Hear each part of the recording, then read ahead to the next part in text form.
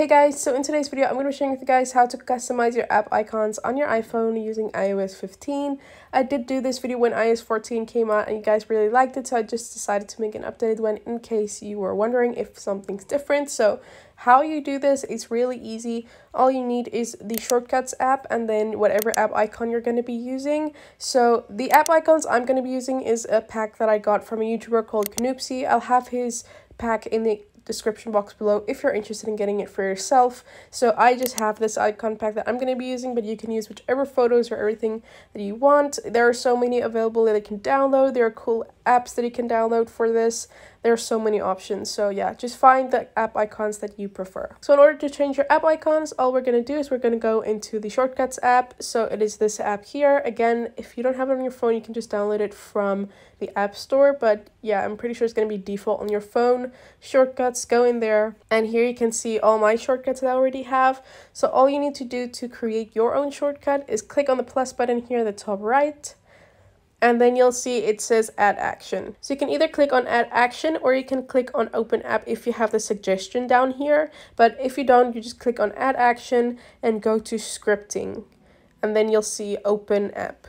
So then it's going to ask you to insert the app that you want to open. So here you just tap on app and then it gives you your list of apps that you have. So I'm just going to go with Spotify for the example for now. So yeah, we have Spotify and in order to add this to your home screen and actually add your custom icon, what you do is you click on this blue settings icon up here, click on add to home screen, and then this is where you're actually going to be naming your shortcut. So again, you're just going to name it whatever app you're using or whatever you want to name it. I'm just going to go with Spotify, plain and simple. And in order to add the icon, you click on the little app icon next to the name and then choose where you want to get your photo from files or from photos. Mine is saved in files.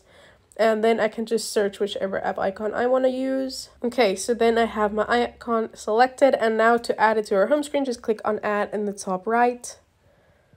And now you can see here is my Spotify icon that we just created. So if I go in, you'll see it just takes me into Spotify real quick and easy. So that is how you basically customize your app icon on your iPhone. It's really easy. Sadly, we still have that annoying notification thing that pops down whenever you click on your shortcuts. Apple still hasn't made a great way to get rid of that, so we're kind of stuck with it for now. So, yeah, sadly, that shortcut animation thing will always pop up when you open an app.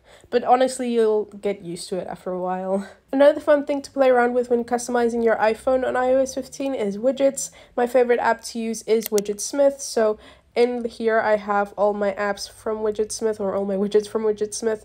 I just have a few that I can play around with. You can choose what type of widget you want, whether it's a photo or it's a moon phase or the date or the time different sizes of widgets as well. You can play around with widgets also. Widgetsmith really is my top recommendation for cool widgets. Another cool thing you can play around with when customizing your iPhone is the focus mode thing that Apple just released with iOS 15. I have a full video on that. If you want to check it out, I'll have it in the iTop top and description box below if you're interested in that. But basically I can go into certain focus mode. So it's here in the control center. Um, I'll show you guys in that video how to set it up. But yeah, so if I go into filming mode, you'll see none of my previous home screens are here anymore. It's just this one home screen that I made for when filming. I can just go into that and then all my other home screens are gone.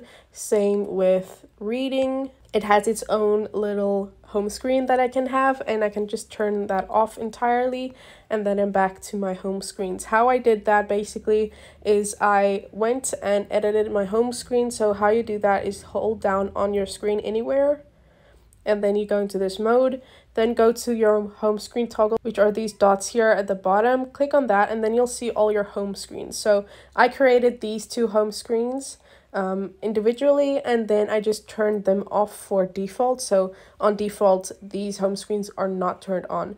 But when I set up my focus, I just turned these on just for that so focus and these are all then hidden. Um, again, in that video, I go into more detail into how to actually set that up. But yeah, that is basically another cool thing you could play around with when wanting to customize your phone. Focus modes are really fun to play around with. But okay, that is my video on customizing your iPhone on iOS 15. I hope you guys enjoyed it and found it interesting. If you did enjoy this video, give it a thumbs up and comment down below any other questions you might have for me. Definitely subscribe by clicking on the icon on the screen. Click on the playlist to see all my other iOS 15 related videos and click on the video to my previously uploaded video. I'll see you guys next time. Bye!